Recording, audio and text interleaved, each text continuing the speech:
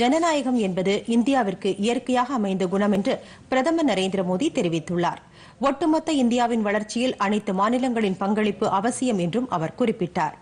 அனைத்து இந்திய சட்டப்பேரவைத் தலைவர்களின் எண்பத்தி இரண்டாவது மாநாட்டை புதுதில்லியிலிருந்து பிரதமர் நரேந்திர மோடி இன்று காணொலி காட்சி மூலம் தொடங்கி வைத்து பேசுகையில் இதை தெரிவித்தாா்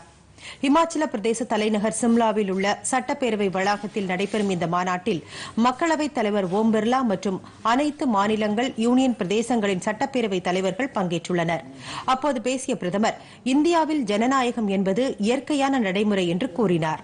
புதிய இந்தியாவை உருவாக்குவதில் அனைவரும் இணைந்து செயல்பட வேண்டும் என்று குறிப்பிட்ட பிரதமர் புதிய யோசனைகளை மாநில அரசுகள் வழங்குவதன் மூலம் நாட்டின் ஜனநாயகம் வலுப்பெற முடியும் என்று கூறினாா்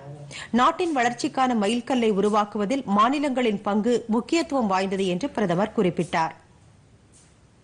भारत के लिए लोकतंत्र सिर्फ एक व्यवस्था नहीं है। लोकतंत्र भारत का स्वभाव है। भारत की सहज प्रवृत्ति है। आपकी यह यात्रा इसलिए भी और विशेष हो गई है क्योंकि इस समय भारत अपनी आजादी के 75 साल का पर्व मना रहा है अमृत महोत्सव मना रहा है ये संयोग इस कार्यक्रम की विशिष्टता को तो बढ़ाता ही है साथ ही हमारी जिम्मेदारियों को भी कई गुना कर देता है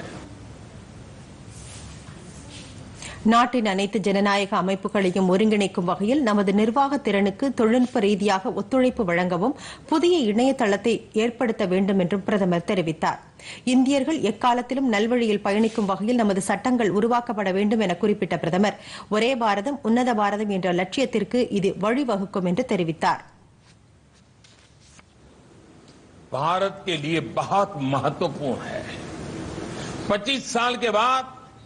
हम आजादी के सौ साल मनाने वाले हैं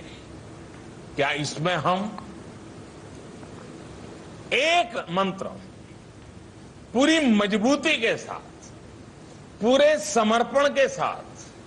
पूरी जिम्मेदारी के साथ एक मंत्र को चरितार्थ कर सकते हैं क्या मेरी दृष्टि से वो मंत्र है कर्तव्य कर्तव्य कर्तव्य कर्तव्य ही कर्तव्य सदन में भी कर्तव्य की बात सदन से संदेश भी कर्तव्य का ही हो सदस्यों की वाणी में भी कर्तव्य की महक हो उनके वर्तन में भी कर्तव्य की परिपाटी हो